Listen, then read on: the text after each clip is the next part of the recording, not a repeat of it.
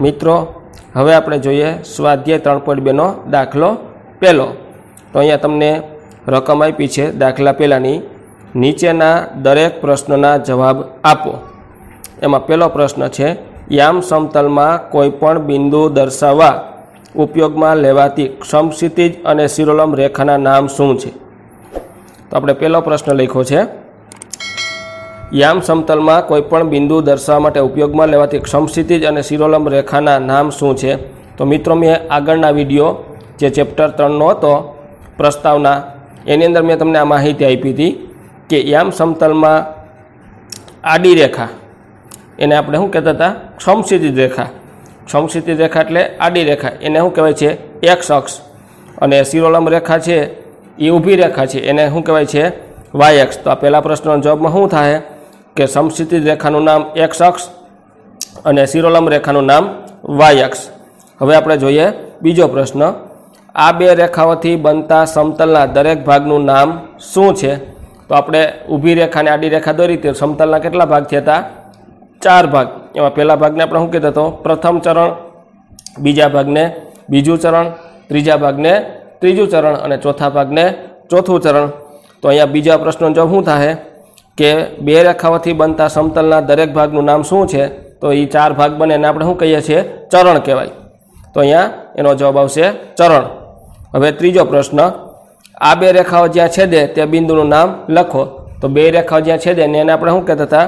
ઉગમ બિંદુ એક્સ અક્ષ અને વાય અક્ષ જ્યાં છેદે, તો તે બિંદુને ઉગમ બિંદુ કહે છે. વિદ્યાર્થી મિત્રો, આજે આપણે ધોરણ નવ, ગણિત, ચેપ્ટર નંબર ત્રણ યામ ભૂમિતિની અંદર સ્વાધ્યાય ત્રણ પોઈન્ટ બેની વાત કરશું. સ્વાધ્યાય ત્રણ પોઈન્ટ બેનો અહીંયા મેં બીજો દાખલો લખ્યો છે.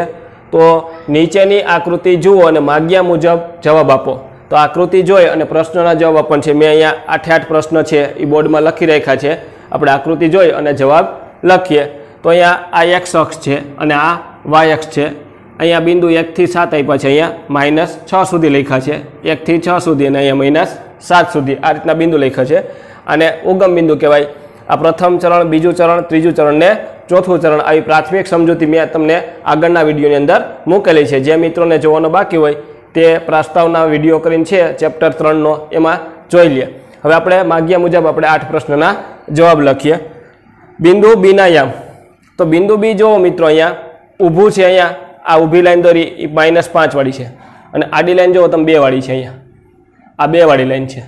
અને આ ઊભી છે માઇનસ પાંચવાળી છે. તો આ ઊભી લાઈન છે માઇનસ પાંચ એ એનો એક્સ યામ થાય. અને આડી લાઈન બે છે એનો વાય યામ થાય. તો અહીંયા ઊભી લાઈનમાં શું લખ્યું છે? તો કે માઇનસ પાંચ, અને આડી લાઈનમાં શું લખ્યું છે? બે. તો બિંદુ બીના યામ થાય માઇનસ પાંચ બે. તો અહીંયા આપણે લખીએ માઇનસ પાંચ અને બે. આ રીતના તમારે યામ લખવાના છે. આ બિંદુ બીના યામ લખ્યા. કઈ રીતના? ઊભી લાઈન શું છે? પાંચવાળી આડી લાઈન કઈ છે? બેવાળી એટલે માઇનસ પાંચ, બે. બીજો પ્રશ્ન, બિંદુ સીના યામ જણાવો. તો મિત્રો, તમારે આકૃતિમાં બિંદુ સી ગોતવાનું. કઈ જગ્યાએ છે? અહીંયા છે. બરાબર છે? તો હવે તમારે ઊભી લાઈન જોવાની પહેલાં. આ એક શખ્સવાળી ઊભી લાઈન. એક શખ્સવાળી ઊભી લાઈન ક્યાં છે? પાંચ ઉપરથી. આવે જો અહીંયા.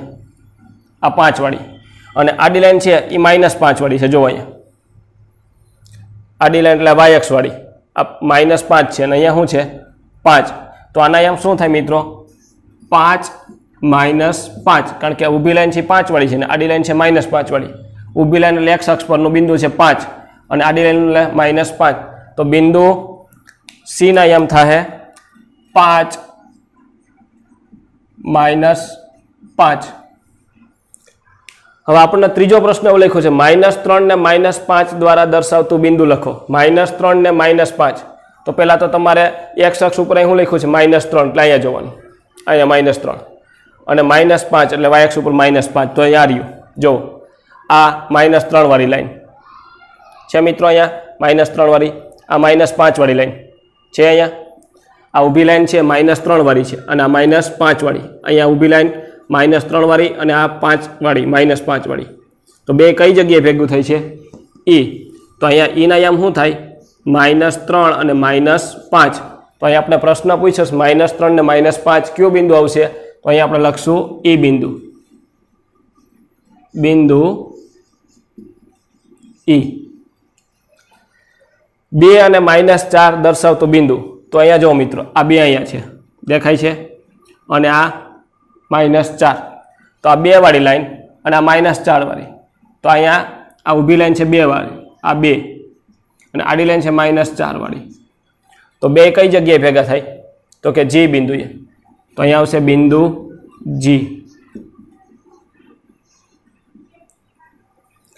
ડીનો એક્સિયમ તો મિત્રો પહેલાં તમારે રકમ જો ડી એક્સિયમ એટલે આ એક્સ અક્ષ ઉપર જે બિંદુ વહી, કોણ છે? ઊભી લાઈનમાં જોવો એટલે. એક્સ અક્ષ ઉપર કયું બિંદુ છે?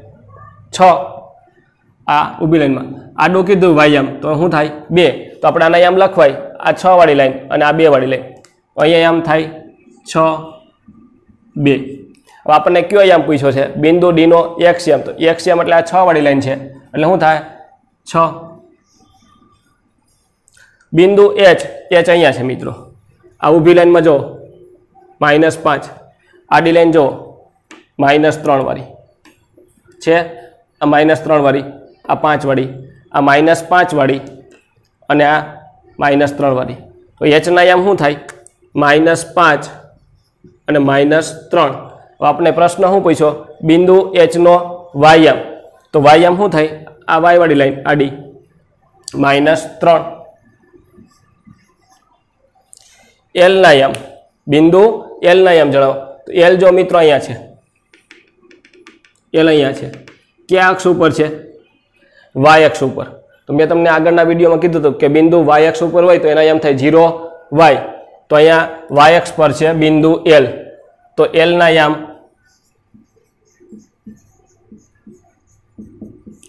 બિંદુ એલ છે એ વાય અક્ષ ઉપર છે એટલે એના યામ થાય ઝીરો વાય. એટલે એક્સ યામ નથી થતો. ઝીરો. વાયની જગ્યાએ કયો બિંદુ આપ્યું? એલ. તો કે કઈ જગ્યાએ છે? અહીંયા પાંચ. તો એના યામ થાય ઝીરો પાંચ. હવે બિંદુ એમ ના એમ તો જો અહીંયા, બિંદુ એમ ક્યાં છે? આ રહ્યું. અહીંયા એક્સ અક્ષ ઉપર. તો કોઈ પણ બિંદુ એક્સ અક્ષ ઉપર હોય તેના એમ શું થાય? એક્સ જીરો મેં આગળના વિડીયોમાં કીધું હતું. તો અહીંયા આપણે એક્સ એમ શું થાય? માઇનસ ત્રણ. વાય એમ નથી. શૂન્ય. તો બિંદુ એમના એમ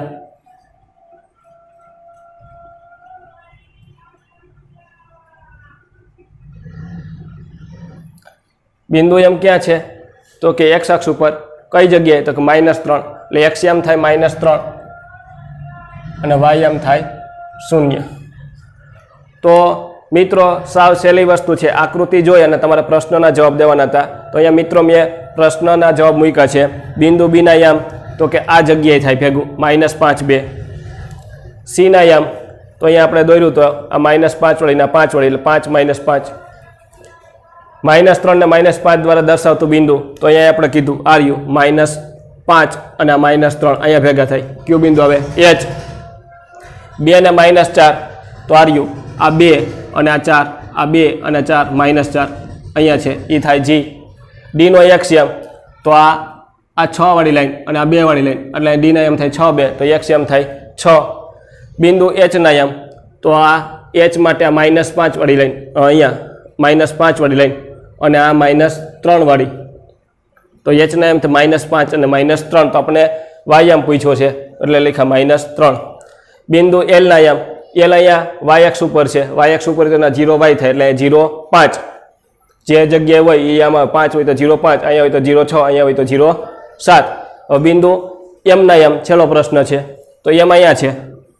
એક્સ અક્ષ ઉપર છે. એટલે માઇનસ ત્રણ જીરો અહીંયા હોય તો માઇનસ એક જીરો અહીંયા હોય તો માઇનસ છ જીરો આ રીતના છ છ પ્રશ્ન આઠે આઠ પ્રશ્નોના આપણે જવાબ આપ્યા.